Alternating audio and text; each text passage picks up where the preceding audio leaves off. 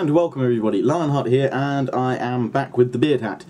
Been doing many vlogs lately, and it's just been too hot to actually vlog with the beard hat, but I'm doing this video early in the morning, so it's quite cool, and also my hair is really messy, so I thought, better wear the beard hat. Anyway, this is my gaming laptop review, a pros and cons um, vlog. Now, this is not a buyer's guide for a gaming laptop. I will be going over a couple of gaming laptops, probably some of the top end ones out there at the moment, very briefly. Um, later on in the video, but I won't specifically be going, this is a great laptop to buy for this.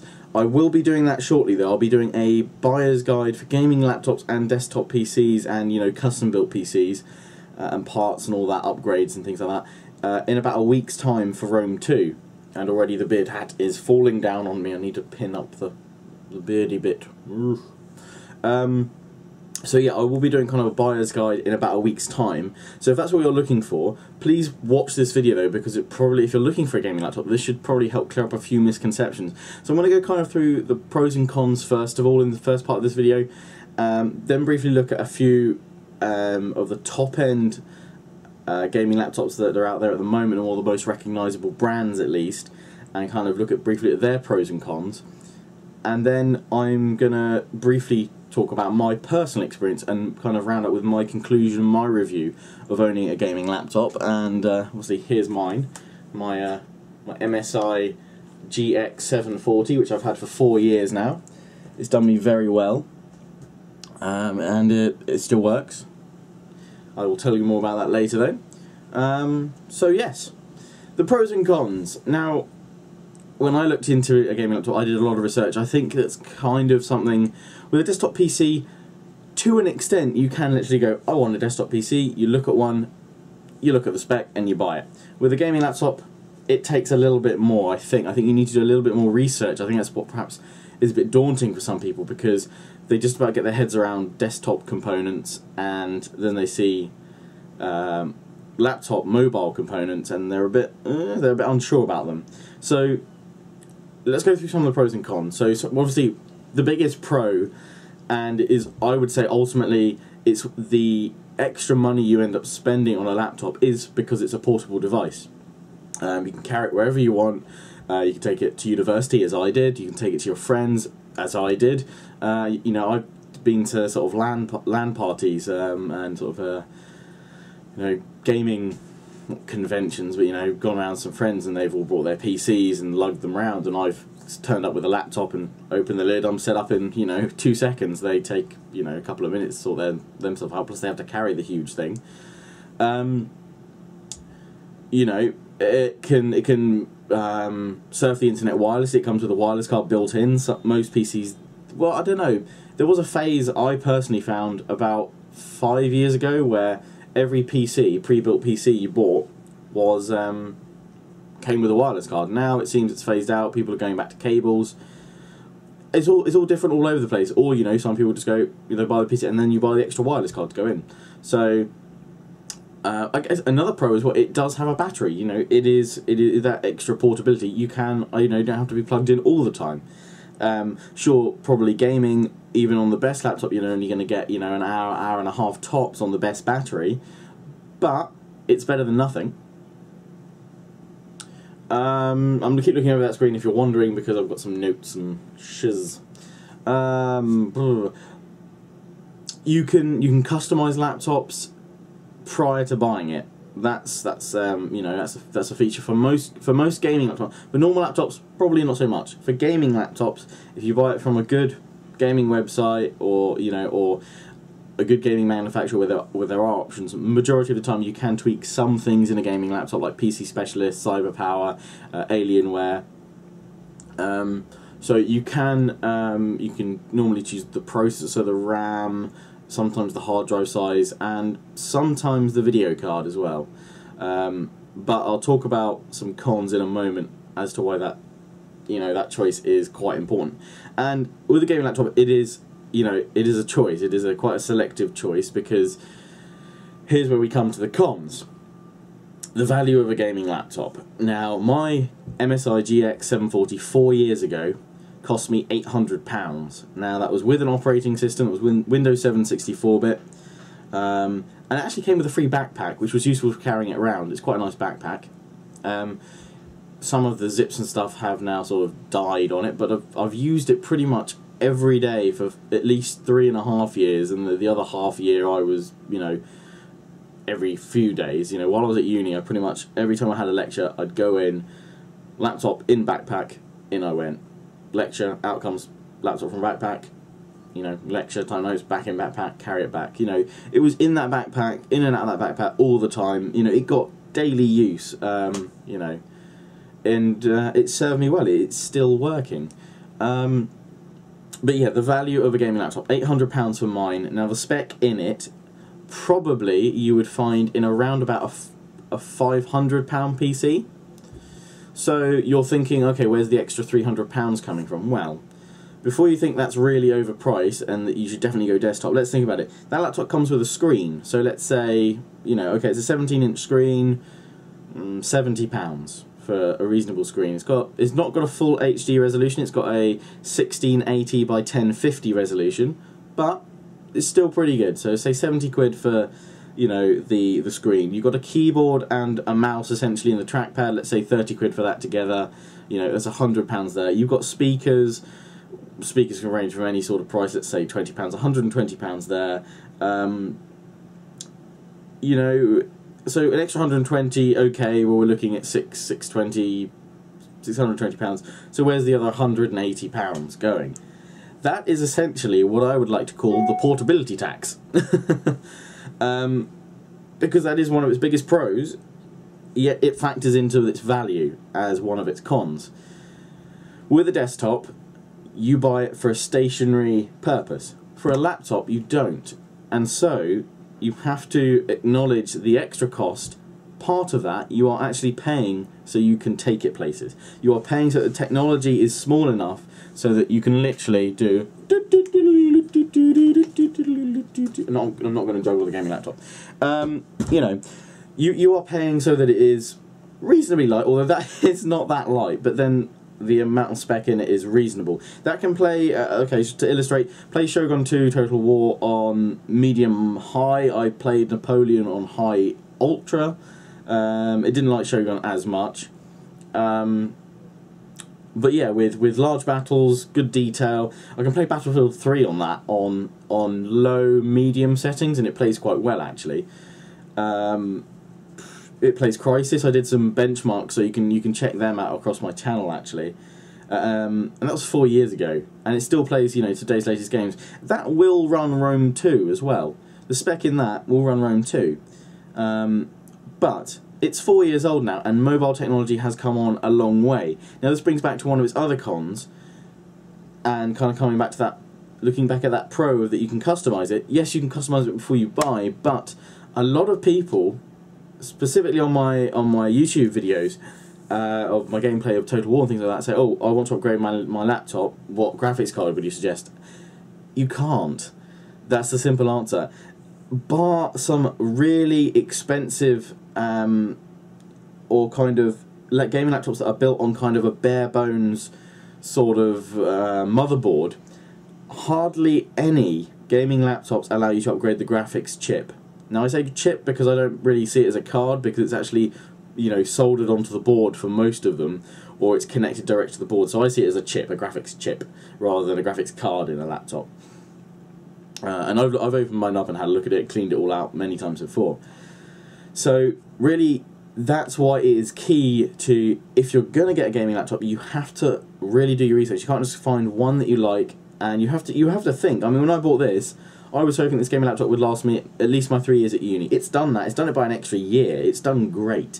So, um, you know, that's really, you know, you kind of have to future proof yourself by perhaps paying more, you know, so it will last. Because otherwise, if I spent 800 quid, you know, um, four years ago, and then halfway through had to spend another 800 quid to get a, a new, more recent, more current gaming laptop, you know, I'm, I'm, you know, that's £1,600, whereas this, you know, it's half the price. Um, so it's very important to really do your research and really find out um, what what parts it's got in, what graphics card it's got in, what's processor. Um, so yes, graphics cards pretty much are a no-no, and not just because you can't, you know, take it, um, take the chip off the board and put a new one in. You can actually do that, and you can buy them from eBay or other stores. You know, things like that, actual mobile chips, graphics chips to put onto your onto your laptop motherboard. It's that it then won't be compatible with your motherboard because your motherboard was made. Um, or that motherboard for that gaming laptop was made specifically to be combined with a certain graphics chip. So, unless there's been like a BIOS update to flash your, your motherboard to accept a new graphics chip, generally it, it, it's not going to work, and it's a lot of hassle actually flashing it sometimes. Sometimes. Sometimes it can be easy, sometimes it can go horribly wrong, and then you've got a bricked um, laptop. So, customization, in a way, post purchase is a huge con. With a PC, you know, take out the graphics card, the processor, the RAM. You can take it all apart and put it all back in. In fact, I have done that pretty much with my with my gaming PC. It came with an AMD processor and a motherboard. I've now swapped that out for Intel um, processor and motherboard. It got a uh, it came with an ATI graphics card. It's now got an Nvidia. I've put a new hard drive in there. I've put new RAM in there. You know, I've completely redesigned and customized my PC as I needed to. With a gaming laptop, you can't do that. So you really that's why sometimes I say don't just go for the, the, the cheapest gaming laptop that you can afford. Go for the one that's going to last. So you know if you have to save up an extra two three hundred pounds, go for that one because that is the one that's going to last, and you know you're not going to have to upgrade. Having said that, there's no customization. You can upgrade RAM in pretty much every single laptop because it's most likely one of the main things that's accessible that won't void your warranty. And I should say that in most cases, getting to your graphics chip or your processor will void your warranty because you'll break a void, uh, a, void warranty sticker. Um, but most manufacturers, either you can ask them within their warranty, you can have a look in within their warranty um, contract, and it will actually say that you are allowed to change the RAM or hard drive, or, or most likely the RAM and the hard drive are not in areas where you will have to avoid a warranty sticker to to get to them, basically. Um, my gaming laptop has separate compartments for, for RAM and the hard drive separate from the main the main board basically um, where if you open that, that up it's it will void your warranty um, but yeah so you can upgrade the RAM and you can in some laptops upgrade the processors in my laptop actually I did find out um, that you can upgrade the processor you have to do a BIOS flash so that it will be accepted but you can do it you can upgrade the processor. Um, you can obviously, most of the time, put in a bigger hard drive. That's pretty easy to do. So there's limited um, customization upgradability post-purchase. So that's why it's important to make those choices pre-purchase. Um, now another con that I've sort of seen that is obviously due to the size of the laptops, um, they have a tendency to heat up really quickly and a lot of people get worried. Now, laptops specifically, they're parts that are made to get hot and sustain the heat. Even graphics cards today, generally, I think most NVIDIA ones have a threshold of about um, 98. I've seen my graphics card recently in the summer sun um, hit 94 and it's, it's an Nvidia card, they always run hot anyway, they always run hotter than AMD, so not too worried about that, it came straight down anyway, I whacked my fan up, brought it down nicely, but um, with laptops, obviously it's all in a compact space, as you can see. Let's have a look at the back of my game laptop. You can see all the, um, you know, all the little uh, vents and things on the back. You know, you'd have thought they'd just vent the whole thing on the back so it would try and be cool. But obviously you're going to get loads of dust in it. But you've got vents where the main areas are. So on mine, um, you've got kind of the, um, the RAM is over here under this vent. Um, down here is the processor, and up here is the graphics card, and it only has a little vent, which I always thought was weird.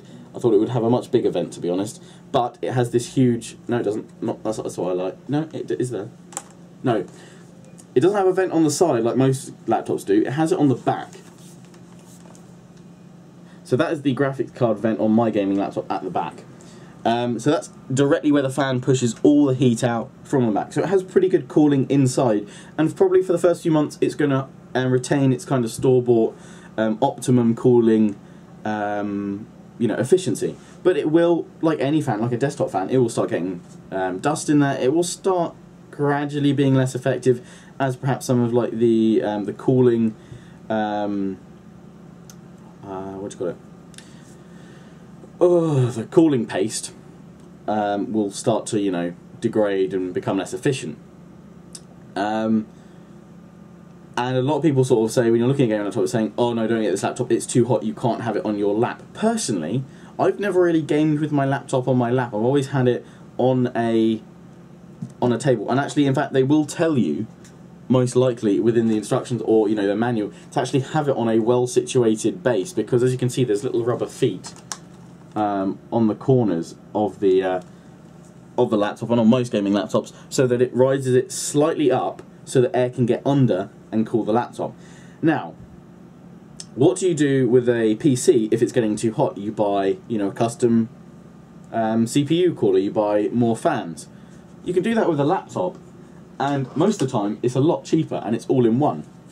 Now this is a is a Coolmaster. I can't remember what the exact name is for it, but it's a Coolmaster cooling pad. It's the it's the U3 edition because it's got three fans at the back. Now this was perhaps one of the best pieces of kind of tech accessory kit that I've ever bought because it works really well. So as you can see, when you place it down, it instantly raises your laptop up on a wedge. So your laptop will be at that degree. It doesn't distort the viewing angles at all, it's great. And then you can move the fans on the back any way you want. You just click them and you look, I can take it wherever I want, take that fan off and I can put it up over here.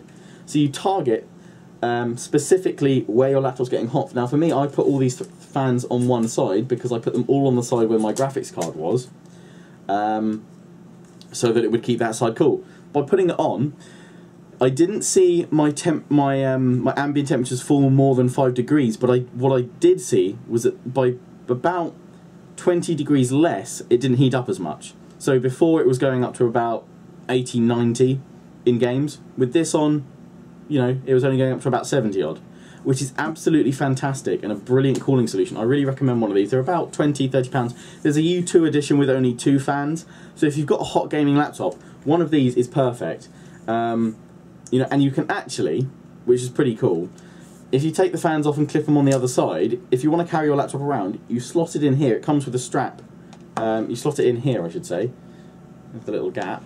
You slot it in here and it comes with a strap, so you put your laptop in there, you move the fans around the other side, and your laptop goes in here, you strap it in, and then you've got this little handle up here, and you can walk along carrying it. So if you're going to a LAN party, that's a pretty cool feature. So if you're gaming a lot, this is a great bit of kit. So, and, you know, if that overheating issue, it's the same response I'd give, you know, if your PC's overheating. You buy a fan, you buy a cooler. This is the solution. And unlike some coolers, where they really don't work, honestly, if I'm going to be a sales guy for the Coolmaster um, U3 right now, this does work.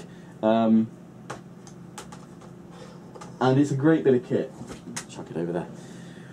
Um, so yes, so overheating, yes, it is going to be an issue because, I mean, look how small it is. Look at the amount of technology. Look at how big your tower is, probably, your desktop PC, and then compare that to the, the form factor of a laptop. Of course it's going to get hot. It's like some, some people sort of expect it's not going to get hot.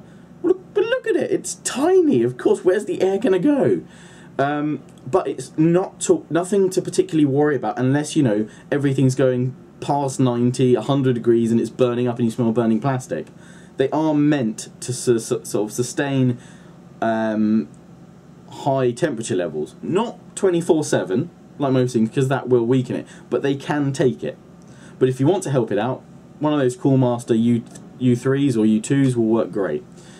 Um, I think essentially that's that's all the cons and pros that I've kind of got to bring to the table. You know, ultimately the biggest con is the price, um, and the biggest pro is the portability. So really, you have to work out whether you can justify the con of spending that much money to getting the value of not just a high spec machine, but one that's portable. So let me briefly end end this um, this video by talking about my own experience, and then I will actually come back and talk about three um, top end laptops right before I finish off this vlog. I was going to do it before, but changed my mind.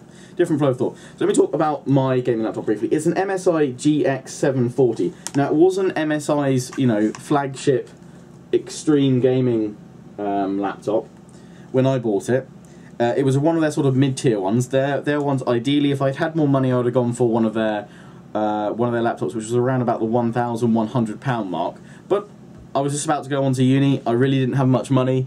Um, I'd saved up quite a bit to try and get this laptop, and um, you know I was happy that it only cost me £800 in the end, considering that was a good at the time £200 more than my current parts of my desktop PC had cost me. I was going, ah. but it comes with a screen and speakers. That was fine.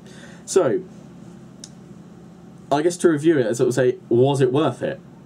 Yes, it was fantastic. The fact the fact that I could carry it to and from uni every time I came home um, for the weekend, I could bring it back with me. Obviously, I had my gaming desktop here, but when I went back to uni, I had a brilliant, um, a brilliant multimedia laptop that could play games on really good quality. It could actually record some of my videos, and I think my Napoleon Total War, uh, either the Denmark or the Dutch one, a few parts of that were actually recorded on that laptop. Uh, and the quality wasn't that much different, and that handled Darth mod on as well. So there were a lot more units on the field, and even though it had kind of a slower clocked processor, it's an i5 in there, but I think it's only clocked to 2.4 gigahertz. It did turbo up to like 2.7, but even though it had a, a slower clock processor, it still handled that game quite well. So, you know, I'm I'm actually really thrilled that it's lasted me four years. Now, there's a reason why I'm not using it now, and that's actually because, unfortunately, it must know that its time has ended and that it can actually relax. Is that if we're going to review this laptop personally, it's a great laptop, um, very powerful. Now I see how MSI kept the price down on this model specifically so that it was more affordable for, for gamers, basically. Um, and they did that by including a 17 inch screen, but it didn't have a full 1080p or 1080 resolution. It had a 1650, no, 80 by 1050.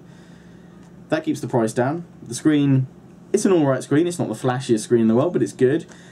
And also the um, the casing is mainly all plastic. Now the lid looks like brushed alu um, aluminium or like that brushed metal finish, and it feels really nice too. However, if we look along the back, I don't know if you can see. You can see the kind of the split, um,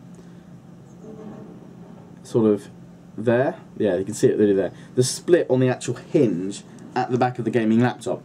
Now, opening and closing that laptop over the past four years, I wouldn't want to guess how many times that's been.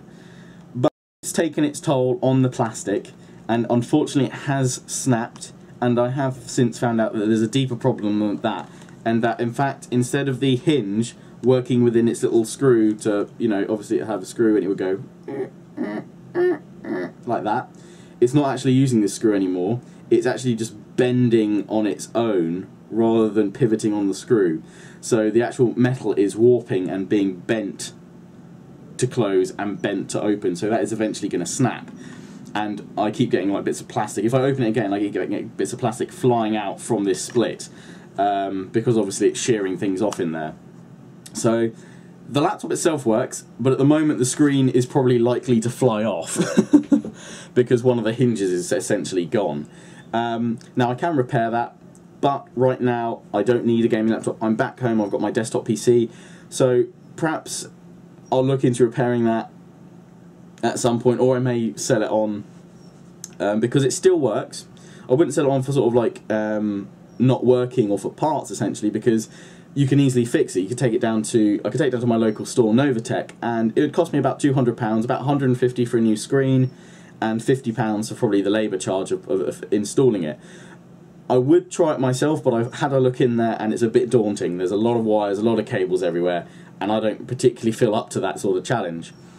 But um, it is doable, or it's got plenty of, um, as you've seen, I'm sure when I flashed it along, it's got um, an HDMI out and it's got a VGA, uh, a VGA out, so you can just hook it up to an external monitor and you can easily reach under the screen and just hit the power button connect up a keyboard and a mouse, and it's basically like a mobile workstation, and it's a reasonable one at that.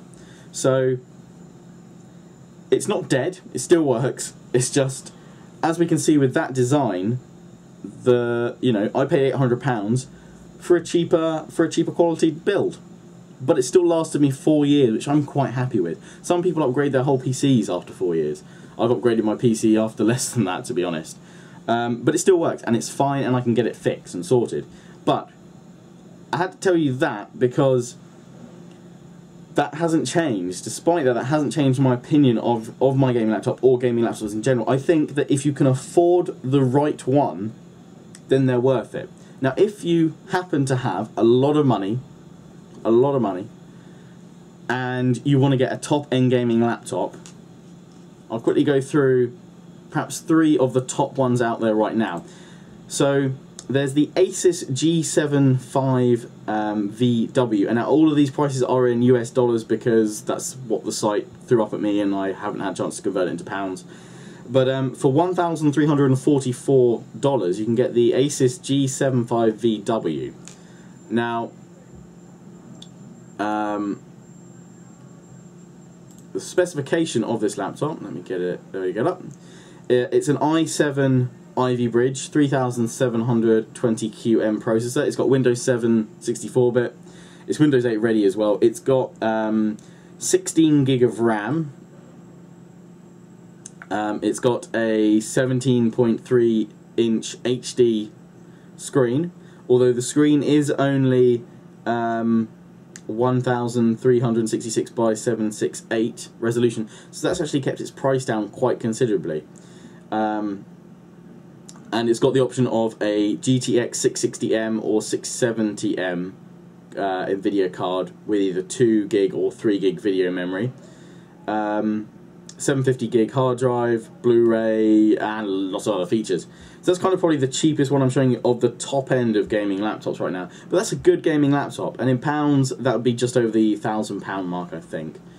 Um, going to probably the other end of the spectrum, the other extreme, we've got the MSI laptop. We've got the MSI GT70.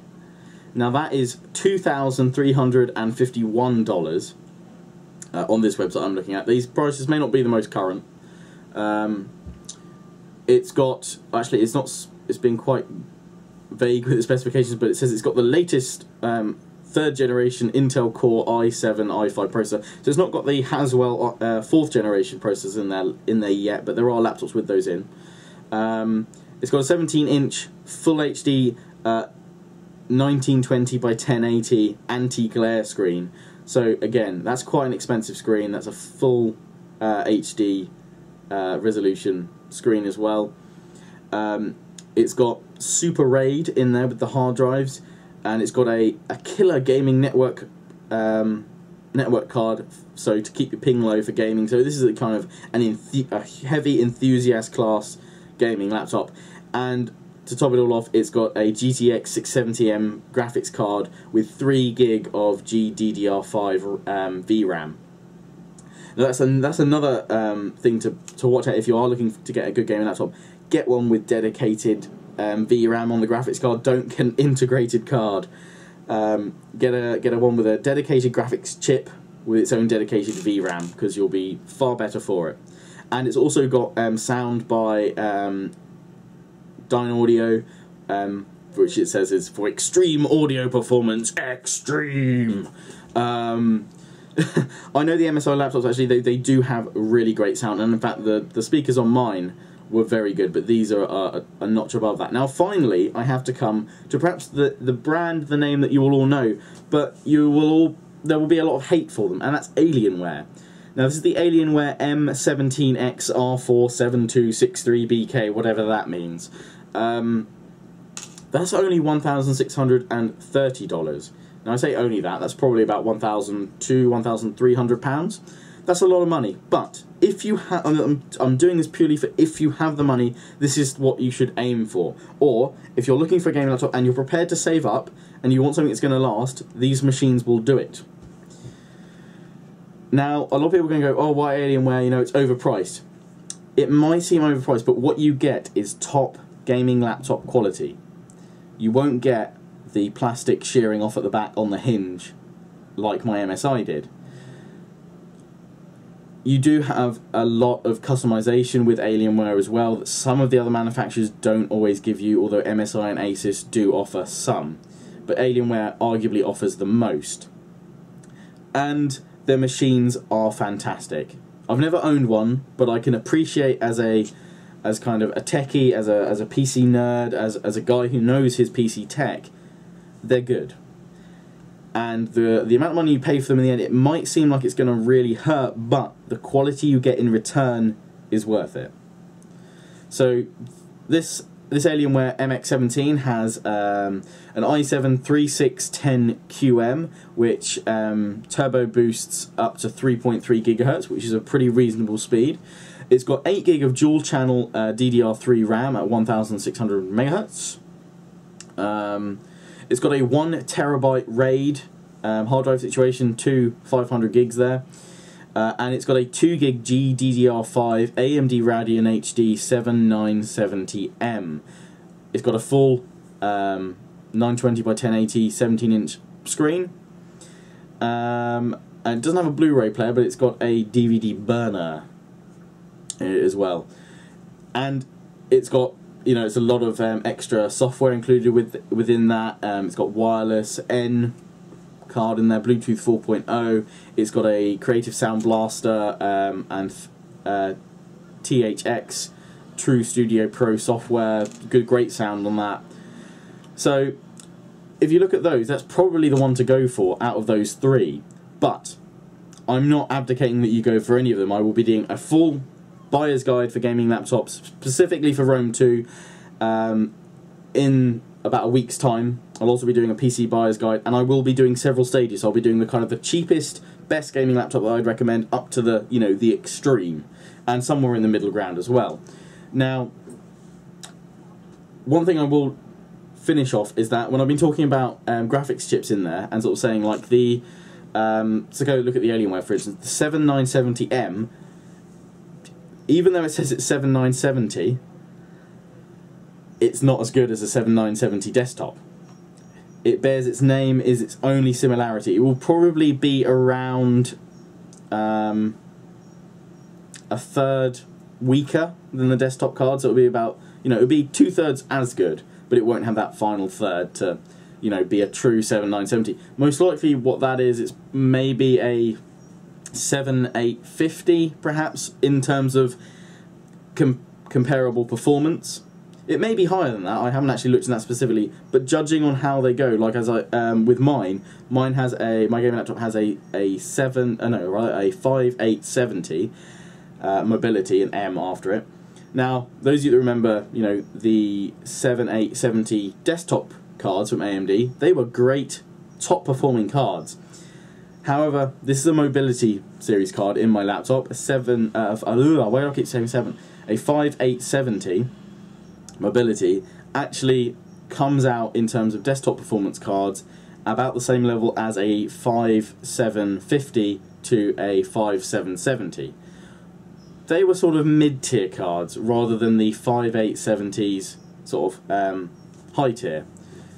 But anyway, I've rambled on for half an hour, um, but I hope this video has been useful. I hope I've covered some of the pros and cons um, of gaming laptops. I hope I, you know you've seen some insight from my experience from my four years of using one, and if someone said, would you buy another one? If I had the need for portability, yes I would. But now, currently in my current situation where I'm back home with my gaming PC, I don't have the need for one. So I wouldn't be buying a replacement for mine just yet. Um, but if you need one for portability, and that's what you have to weigh out, can I afford the portability? It's not whether you can really afford the laptop, it's whether you can afford the extra for the portability. But anyway, I hope you enjoyed. Please remember to comment, rate, subscribe, thumb this video if you enjoyed it.